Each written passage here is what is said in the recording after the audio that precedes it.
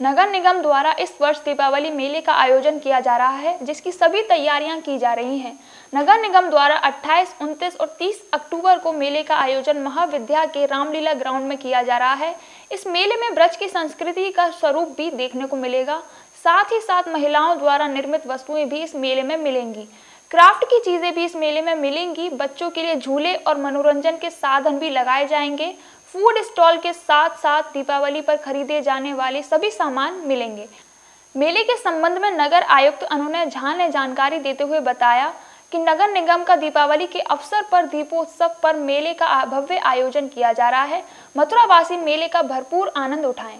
मथुरा वृंदावन नगर निगम द्वारा इस वर्ष एक नई परंपरा ब्रज की संस्कृति के संरक्षण में शुरू की जा रही है, दीपावली मेले की। इस वक्त हमारे साथ मौजूद हैं मथुरा वृंदावन नगर निगम के नगर आयुक्त अनुनय झा सर। सर, एक बहुत अच्छा प्रयास इस बार आप दीपावली पर ब्रजवासियों के लिए मेले की शुरुआत कर रहे हैं। क्या कुछ तैयारियाँ हैं? किस तरीके से उसका आयोजन होगा?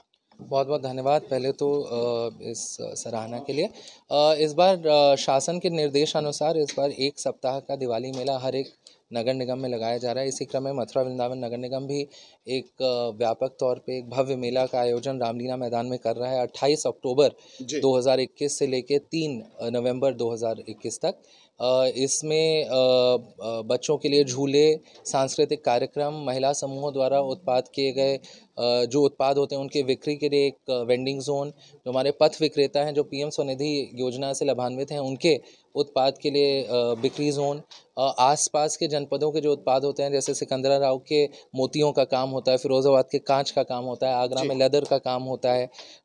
इनके लिए हमने एक वेंडिंग जोन बनाया है। अन्य विभागों के भी जो उत्पाद होते हैं जैसे खादी विभाग का कुर्ते होते हैं उनके शैम्पूज़ होते हैं साबुन होते हैं अगरबत्ती होती है उनके लिए।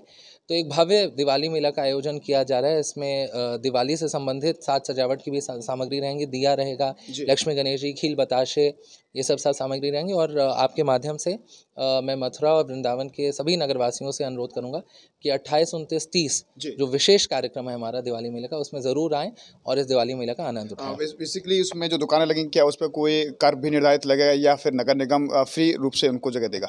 क्योंकि ये दिवाली मेला पहली बार करवाया जा रहा है और शासन की मंशा है कि ये बहुत ही भव्य रूप से करवाना है। इसलिए हमने इसको सभी की सुगमता के लिए इसको निःशुल्क रखा हुआ है।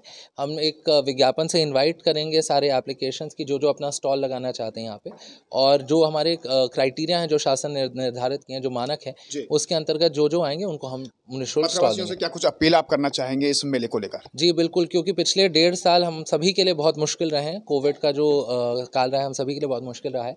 तो ये पहला ऐसा भव्य आयोजन हुआ है प्रशासन हो रहा है प्रशासन के तरफ़ से। तो मैं सभी से कहूँगा कि खुशियों खुशियाँ मनाएँ। दीपोत्सव है दिवाली का उत्सव है खुशियाँ मनाएँ और साफ़ सफ़ाई मेंटेन रखें ऑफ़ कोर्स और ज़रूर आएँ बच्चों के साथ आएँ और खूब इन्जॉय करें। बहुत समय साथ रहे मथुरा नगर निगम के नगर आयुक्त अनुनय झा की जो इस बार दीपावली मेले का आयोजन किया जा रहा है, जिसकी सभी तैयारियाँ पूरी की जा रही हैं। इस मेले में ब्रज की संस्कृति का स्वरूप आपको देखने को मिलेगा, क्राफ्ट का भी देखने को मिलेगा और दीपावली पर जो, अब स्पेशली जो सामान की बिक्री होती है, वो भी वहाँ पर उपलब्ध होगा, क्योंकि नगर निगम द्वारा ये एक बेहतर प्रयास किया जा रहा है और हमें भी उम्मीद है कि मथुरावासी इस मेले का भरपूर आनंद लेंगे। न्यूज़ कुमार पर्सन गोपाल जगा के साथ गोविंद भारद्वाज।